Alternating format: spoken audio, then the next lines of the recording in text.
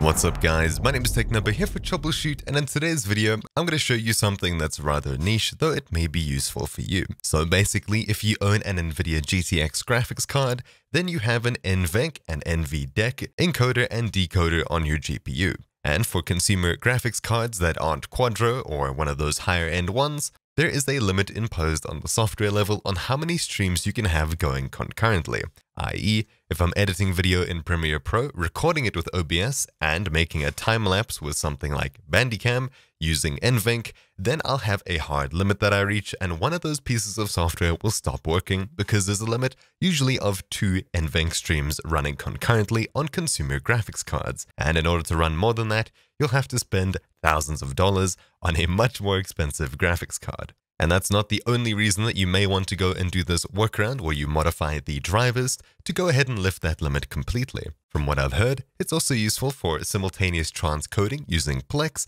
and people having issues recording and playing games using something like the Oculus Link. Basically, this video will show you how to lift that max number of concurrent sessions that you can run on your PC.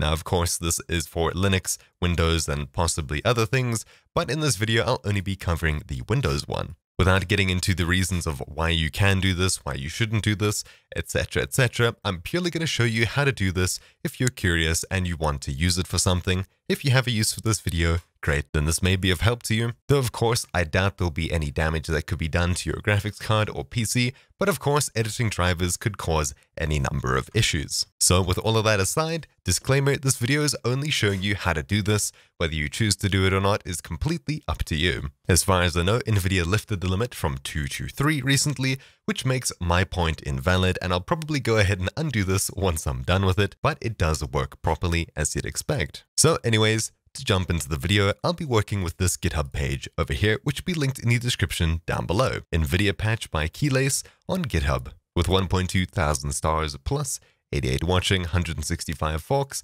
and relatively recently updated, this is probably the best place that you can get it. Scrolling down a bit, you'll find some information on it, and you'll find a link to the Windows version over here.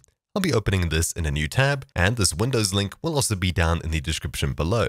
These two GitHub pages are mostly the same, just this one over here is for Linux. As you can see, we'll have a version table with all of the supported versions of the NVIDIA drivers, as well as what patches it supports, so NVENC patch and the NVFBC patch. Scrolling down, the latest version supported for Linux is 450.3606, and you can go ahead and click a download link to go ahead and download it. Then you can follow the steps and patch the driver yourself. Though, if we have a look at the Windows tab over here, things are mostly the same, but a little bit different at the same time. If we scroll down, we find a step-by-step -step guide, which we'll be following in this video now. Then scrolling down further, we reach a version table for Windows 10 drivers, and we'll see product series, GeForce, which is most likely what you'll have, the supported version, and a link to the patch for 64-bit PCs, 32-bit PCs, and a download link for the driver. Scrolling down to the very bottom, we'll see the most recent supported one for GeForce is 446.14. So what we'll need to do is open up this driver link in a new tab, or of course whichever one you're deciding to download, and it'll download the official NVIDIA driver off of the official NVIDIA website. Then I'll go ahead and select either 64 or 86, and I'll right click on it and click Save Link As. Then we'll have whatever name it has. All we need to do is simply rename it so that it ends in .1337 and the file type is 1337 as such. After saving it, possibly replacing it, we're done with the preparation part of this video. Of course, if you have a Quadro card, you can look at this table, and a Windows 7, 8, or 8.1 PC, here are the links for that. Then as well, Windows Server 2008, 2012, 2012 R2, and down here 2016, 2019. And at the very bottom, a link to a Plex Media Server benchmark, somewhat related to this. So scrolling up to the very top, we'll go back to the step-by-step -step patch guide, and we'll be following this. So number one, download and install the latest NVIDIA driver supported by this patch. I downloaded it over here. I'll simply open it up, click yes when prompted for admin, okay, and we'll wait for it to extract. Then of course we can go ahead and select GeForce Experience with our driver or just the graphics driver. Agreeing continue, custom, next. And of course, once you select what you want, I'll just be installing the graphics driver and PhysX. I'll go ahead and click next, though of course I'll need to stop and close OBS in order for this to finish. Then once the graphics driver has installed, we'll follow on with step 2. We'll download the latest WinLeet Apply patch tool from this link over here, which will also be in the description down below. Last updated two years ago, simply click the WinLeet Apply patch 1.9 by defox.rar and download it. Then open it up with whatever RAR Explorer you want.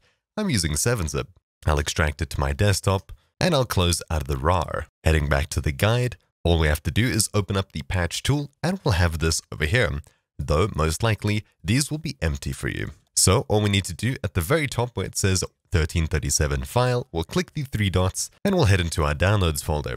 Simply select the one that we downloaded earlier, for me it's this one over here, and click open. Then we'll be asked to find this DLL over here. Looking at the guide over here, what we need to do is apply the patch to this file over here for 64-bit, or this one over here for 32 bits. All we need to do is inside of this file browser, click at the very top and type in percentage W-I-N-D-I-R, window, percentage, and hit enter. That'll take us to C Windows. Then we'll find System32, double click on it, and we'll scroll down to the very bottom. After all of these files, you should see only one file selected, nv encode api64.dll.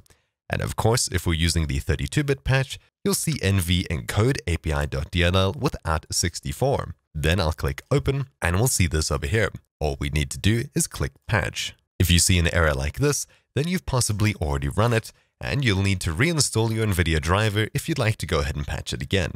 Though, of course, because I've already run it and I'm recording it currently, I can go ahead and ignore that.